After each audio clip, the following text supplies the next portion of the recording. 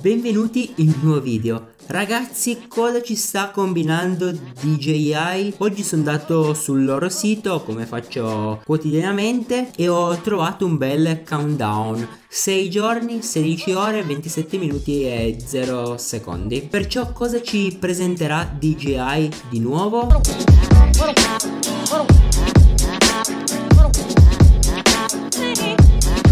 Beh, da questa foto si capisce che va sott'acqua, sicuramente DJI farà qualcosa con qualche sensore per cui riprenderà sott'acqua e non sarà un sommergibile radiocomandato insomma in quanto i sommergibili radiocomandati sono una tecnologia ancora un po' indietro. Perché questo? Perché le onde radio sotto l'acqua si disperdono per cui non possiamo radiocomandarli. Per cui cosa sarà? Non ho pensato a nient'altro ho detto andiamo subito a curiosare sul profilo twitter di Osita LV e chi è Osita LV è colui che azzecca tutte le uscite, tutti i prodotti di DJI. Ormai sono abituato a prenderlo come punto di riferimento. Solitamente con l'Osmo Pocket ci ha azzeccato, col DJI Mavic 2 ci ha azzeccato, addirittura è uscita la foto qualche settimana prima, per cui sicuramente o è uno che lavora dentro o è la stessa DJI che per marketing, per far parlare di sé, ha questo profilo un po' fasullo, insomma. Intendetela come volete, ma è super super affidabile. E cosa ha postato Zita Vita LV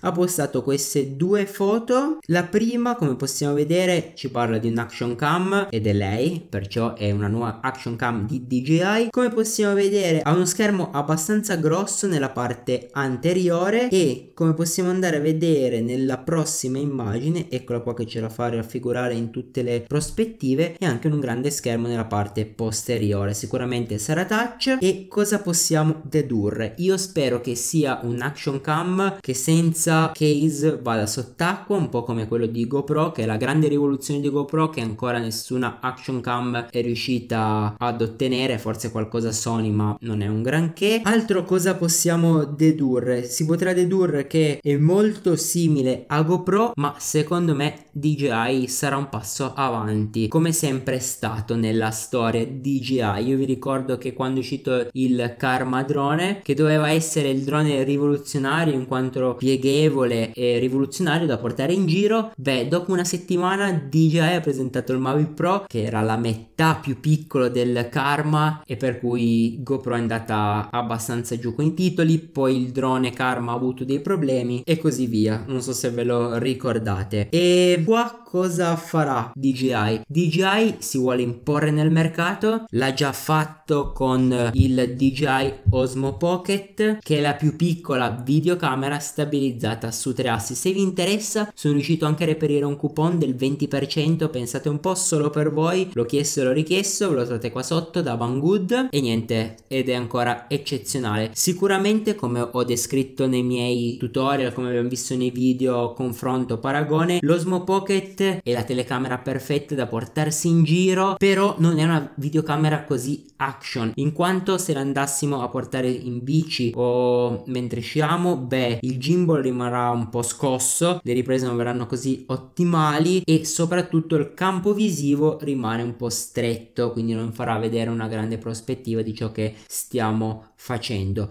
Mentre per quanto riguarda viaggi di vacanze, piccoli trailer, possiamo fare qualche film, mini film, beh, questa è perfetta. Abbiamo il campo visivo perfetto ed è una cosa pazzesca in quanto con lo schermino sì che è piccolo, ma possiamo fare di tutto. Poi ora con questi nuovi aggiornamenti con la versione Pro potremo comandarlo senza problemi da questo schermino e così via. Per cui DJI si sta proprio imponendo, si sta aprendo fette di mercato nuove come può essere questo perché nessuno l'aveva inventato ancora e in più si vuole prendere la grande fetta delle action cam, vere e proprie action cam. Vedremo se avrà la stabilizzazione perché ormai è di dovere avere la stabilizzazione nelle action cam come nella GoPro Hero 7 la grande innovazione che cos'è? È la stabilizzazione super smoothish. Se il nuovo prodotto prodotto di DJI avesse la stabilizzazione ancora migliorata della GoPro, l'impermeabilità senza case secondo me ce l'ha perché con immagine così di copertina con questa ragazza sotto il mare così penso che sia proprio il suo habitat naturale sotto il mare resisterà magari spero anche di più di 10 metri come la GoPro. Un'altra cosa che sicuramente inciderà tantissimo nel fattore successo o insuccesso di questa action cam di DJI sicuramente è il fattore prezzo. La GoPro Hero 7 che sicuramente sarà il rivale numero uno perché l'action cam di eccellenza anche se ce ne sono altri cinesi però secondo me la GoPro Hero 7 rimane al primo posto per ora per ora. La troviamo sui 400 380 euro. Successivamente questa nuova action cam di DJI che prezzo avrà? Non, non lo so. Se fosse leggermente inferiore alla GoPro Hero 7 beh il gioco è fatto. Ciao ciao GoPro. Poi vedremo. Poi vedremo nei prossimi video. Quando quando la testeremo. Altre cose, anche se il sensore riuscisse a portarlo leggermente più grosso di questi sensori qua che troviamo sull'Air, sul uh, DJI Osmo Pocket, beh, allora aumenterà ancora di più la qualità, ancora di più i colori, gamma dinamica, potremo